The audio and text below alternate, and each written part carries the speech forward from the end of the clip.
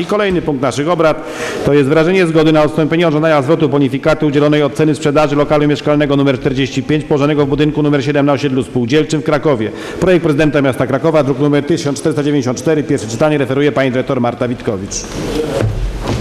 Panie Przewodniczący, Szanowni Państwo Radni, tak jak już Pan Przewodniczący Rachwał tutaj zaznaczył, będę tutaj miała całą serię tych właśnie odstąpień, uchwały o od żądania zwrotu bonifikaty.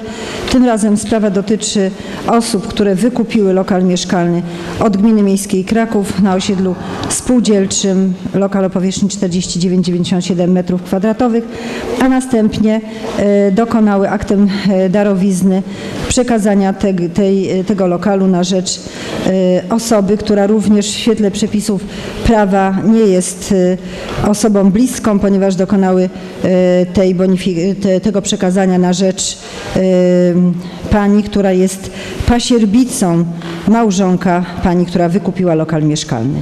W związku z tym, tak jak podobnie w przy, poprzednim przypadku, było to przedmiotem analizy Komisji Mienia i Przedsiębiorczości, która w dniu 10 września 2013 roku pozytywnie zaopiniowała ten wniosek. Dziękuję.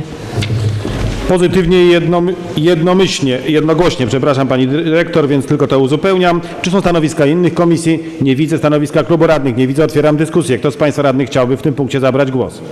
Nie widzę, a zatem stwierdzam, że Rada odbyła pierwsze czytanie projektu i zgodnie z paragrafem 36 ust. 6 Statutu Miasta Krakowa określam termin prezenia autopoprawek na dzień 12 listopada BR godzina 15 i termin ostateczny zgłoszenia poprawek na dzień 14 listopada BR godzina 15.30. Kolejny punkt naszych obrad. Rękę w górze, a to urządzenie do zgłaszania nie działa. A no to nie moja wina, przepraszam, natomiast ręki pana nie widziałem, bo patrzyłem na salę.